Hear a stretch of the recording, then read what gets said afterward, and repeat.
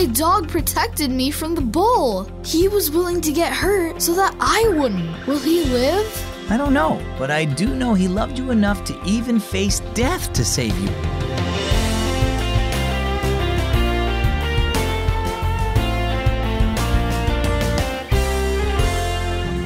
It's a great day here at Keys for Kids, and I hope that you're doing well. Thanks for listening today. My name is Zach.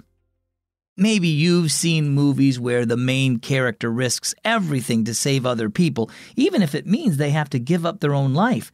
In fact, there are tons of stories going way back in history where they have this kind of character. But the most important person to ever sacrifice their life was Jesus because he didn't just save a few people, he died to save everyone, including you. That was the biggest way he showed his love. Like it says in 1 John 3:16, this is how we know what real love is. Jesus gave his life for us.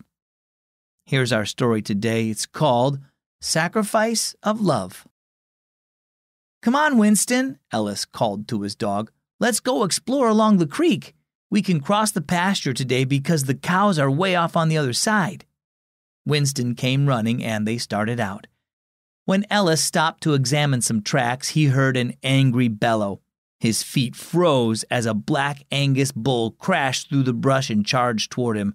Winston lunged at the animal, snarling furiously. The bull shook his head and turned his attention to Winston. As Ellis pulled himself into a tree, the bull rammed the dog against the ground. When Ellis looked back down, he saw the angry bull charge Winston again, then return to the brush. He climbed down from the tree and hurried to Winston's still form.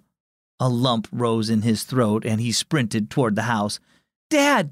Mom! he called frantically. Help me! His parents came running and tears streamed down Ellis's cheeks as he told them about the bull. Dad followed Ellis to where Winston was and put his ear to the dog's chest. His heart is still beating. Let's get him to the vet. The vet found that Winston had a broken rib and a concussion, but he'd be okay. We'll keep him here overnight, then you can come get him in the morning. As Ellis and Dad rode home, Ellis spoke quietly. Winston went after that bull so it wouldn't hurt me. Dad nodded. Winston was willing to face injury and even death so you could live. After a moment, he added, that's what Jesus did for us too. He willingly suffered pain and died on a cross to save us from eternal death. He offers us the gift of eternal life. He loves us a lot to be willing to do that, doesn't he? asked Ellis. He sure does, said Dad.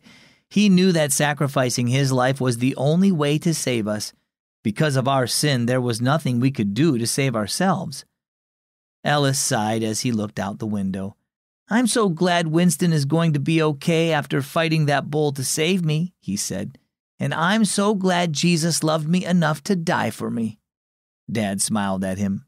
Me too. So, how about you? Did you know that Jesus loves you so much he willingly gave his life for you? Like everyone, you have sinned by doing things that are wrong, and God requires that sin to be punished. But Jesus took the punishment that you deserve. He faced death on a cross so you could have life. Accept his gift of eternal life today. For more information on what it means to accept that gift, get your parents' permission first, then head over to keysforkids.net/salvation.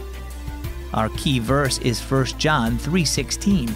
This is how we know what real love is. Jesus gave his life for us. And our key thought for today, Jesus gave his life for you. Would you like to get Keys for Kids in the mail for free? When you sign up, I'll send you the printed Keys for Kids book every three months. Ask your parents to sign up for a free subscription at keysforkids.org slash getkeys. That's keysforkids.org slash getkeys. I'm Zach with Keys for Kids.